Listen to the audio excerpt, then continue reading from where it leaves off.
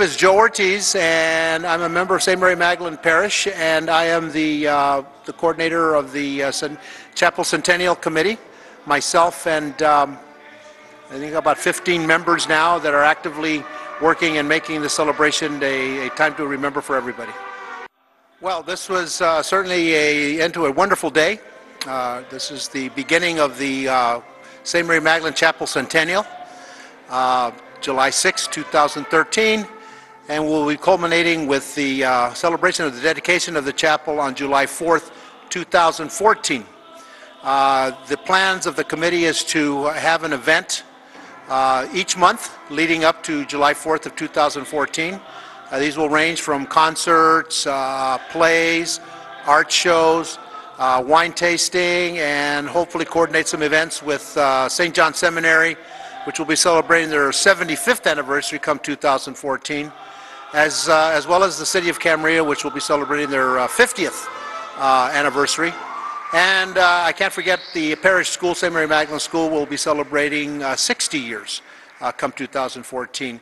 So we think we have uh, some wonderful events uh, and activities planned for not only the parishioners of St. Mary Magdalen, but certainly for the, uh, uh the citizens of Camarillo and Ventura County. And uh, we hope the Chamber of Commerce and their tourism uh, affiliate will be able to advertise this throughout Southern California.